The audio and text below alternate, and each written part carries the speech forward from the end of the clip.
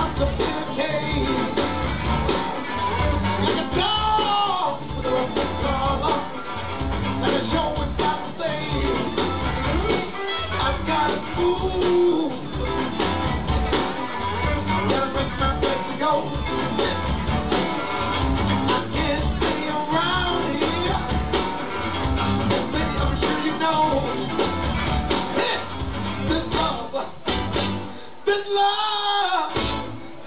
been big enough for the two of us.